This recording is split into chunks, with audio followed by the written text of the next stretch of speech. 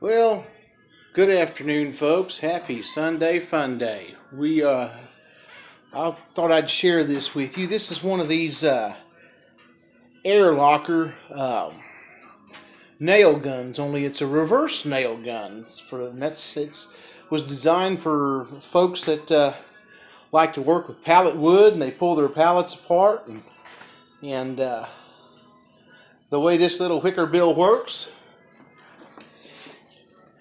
all you got to do is take this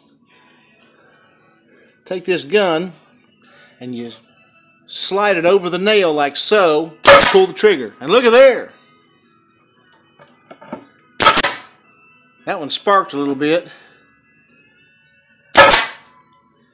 Now you're going to want to straighten them. Obviously it's not going to take care of that. It doesn't require a lot of air pressure and Viola.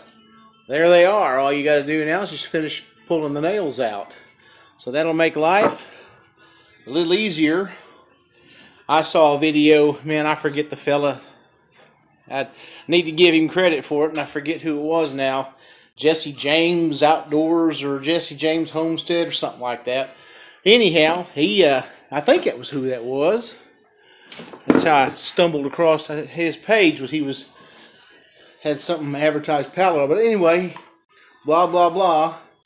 AP700 is part number. And uh, trying to see what they're calling it.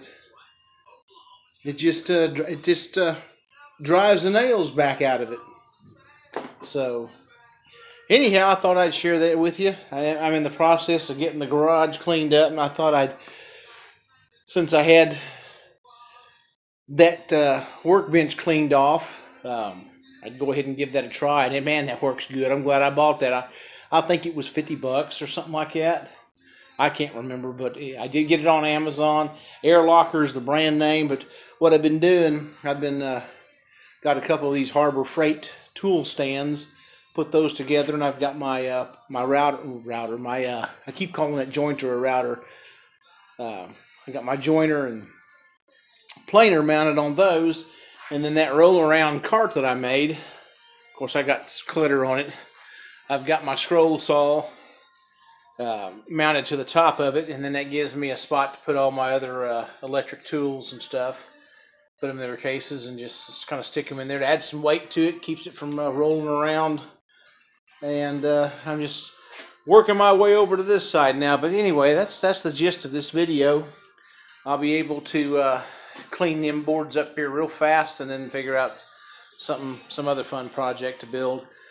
Um, heck, I might, uh, I might make another one of them little old boat dock benches and use that at the lake. That was kind of cool. And I, I, hope my friend enjoys that and makes a lot of money with it. But anyway, that's I, I thought I'd show you. It's the uh, Air Locker AP700. Works really good, man. I was um, shocked and stoked at the same time. Anyway, you guys have a great Sunday, and I will catch you on the next video.